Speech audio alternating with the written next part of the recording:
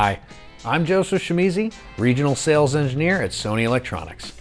We've created a series of short videos to guide you through some of the features and capabilities of our new PVM-X series of 4K HDR professional monitors.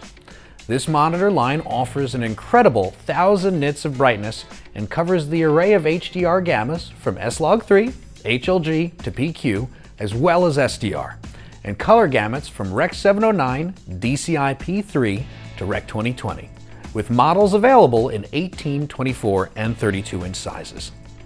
The PVM-X monitors are designed for multi-purpose use in broadcast, location, on-set, truck, and edit suite applications.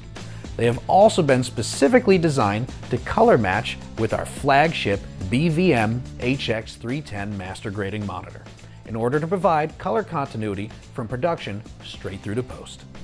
In this segment, we're going to talk about Quad View mode. Quad View mode in the PVM-X series monitors enables you to view up to four different HD signals at the same time. There are four 3G inputs on the back of the monitor for each of the signals. By setting the menu into quad view mode, each of these inputs is assigned a specific quadrant for display. The sources do not need to be synchronized, and you can even include an HDMI source.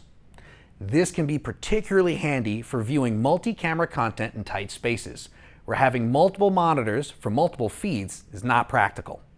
With a 32-inch display, that is the equivalent of having four 16-inch displays, or four 12-inch displays with a 24-inch monitor, or four 9-inch displays with an 18-inch.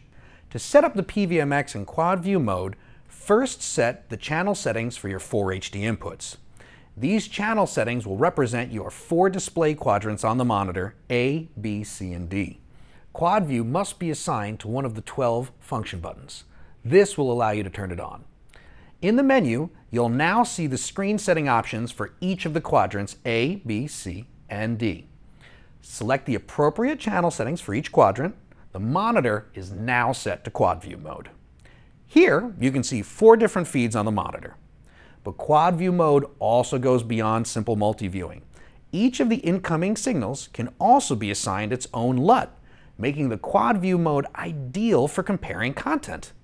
It's really easy to do this since all you have to do is assign a LUT in each of the four channel setting menus. Do note even if we are feeding the same content to the different quadrants, each one of the corresponding inputs has to have a separate feed. It's tempting to think that you can use a single feed and loop it through the other connectors, but that's not going to work. You could also take a different camera angle and apply the same LUT to check exposure and confirm your coverage. When viewing two sources, you can even bring up the waveform and vector scope for each image. That's it for now. See you next time.